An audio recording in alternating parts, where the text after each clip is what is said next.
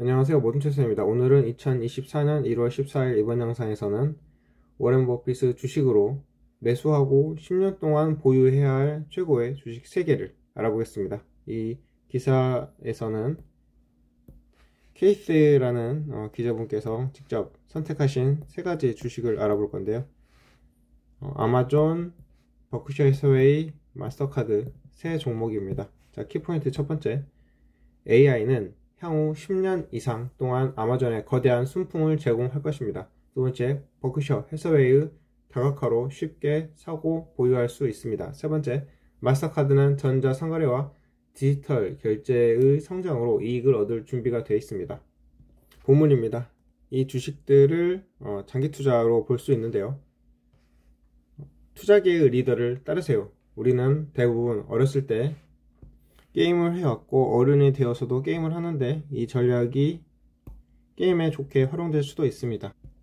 리더를 따르는 전략을 말하는 것 같네요.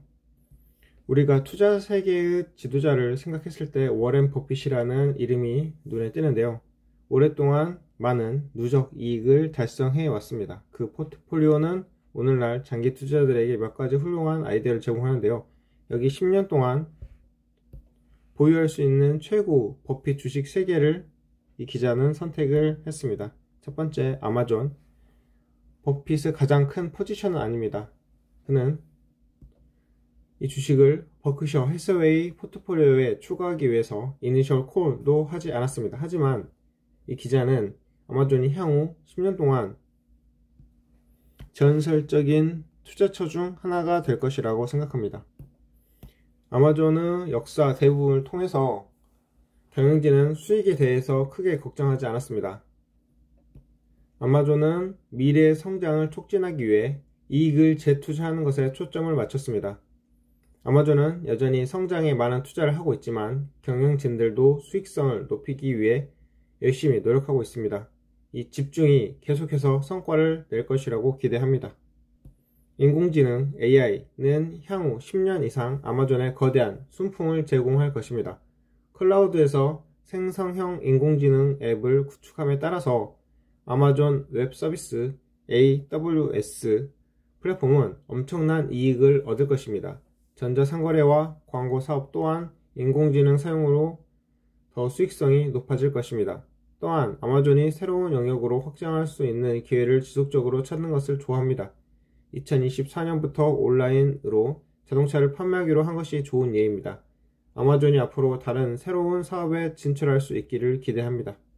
자, 이 AI와 클라우드에 대해서 조금 더 설명을 하자면 AI를 기반으로 한 빠른 컴퓨팅 연산 능력과 저장 용량 확대를 위해서는 클라우드 기반의 데이터 센터 구축이 필수적이 되다 각종 데이터 생성량이 확대되고 트래픽이 기하급수적으로 급증할수록 클라우드 활용이 중요해집니다.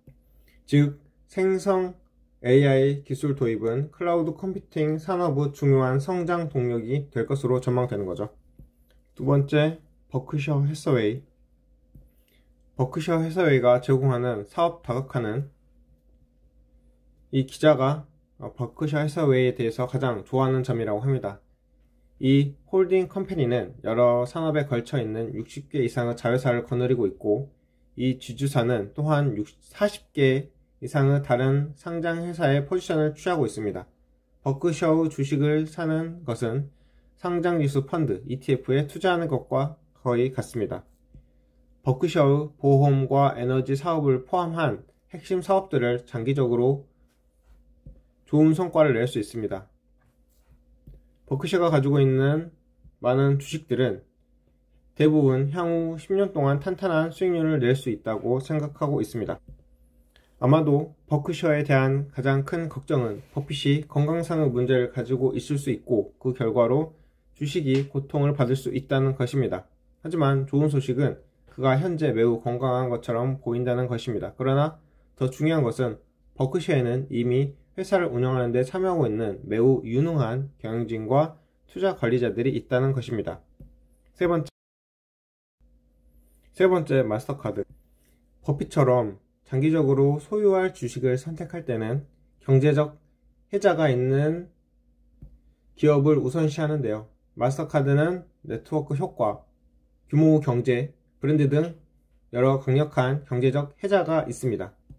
앞으로 소매 매출에서 전자 상거래가 차지하는 비중이 훨씬 높을 것으로 예상합니다. 디지털 결제의 증가는 막을 수 없는 추세이고 이 두 가지 요소가 마스터카드에 직접적인 혜택을 줄 것입니다. 마스터카드에 유리하게 작용하는 또 다른 핵심 트렌드는 아시아, 아프리카, 라틴 아메리카의 신흥 시장에서 중산층의 성장입니다. 이러한 중산층의 성장은 전자상거래, 디지털 결제 및 신용카드 사용을 더욱 증가시킬 가능성이 있습니다.